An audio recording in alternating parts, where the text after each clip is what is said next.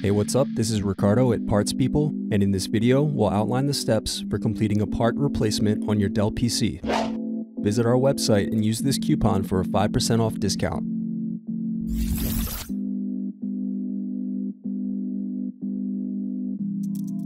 First, unscrew and slide out DVD optical drive.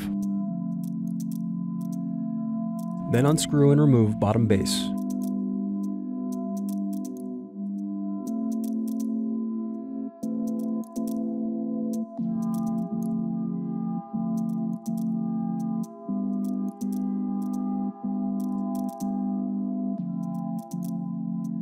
Now unscrew and disconnect battery.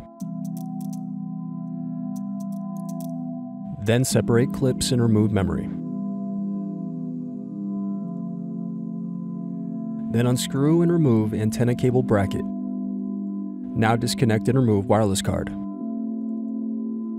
Now unscrew and remove M.2 SSD. Next unscrew and disconnect cooling fan. Now unscrew and remove heatsink.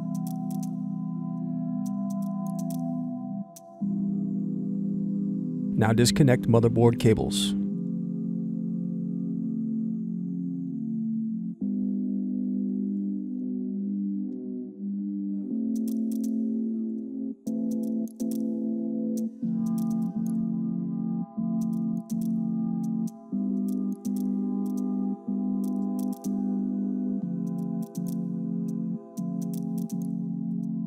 Next, unscrew and lift display hinge from palm rest. Then unscrew and remove motherboard.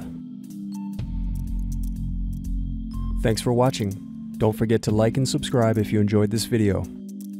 And if you need more, check out this playlist to watch other tutorials for your laptop. You can also click here to find parts for your laptop at partspeople.com.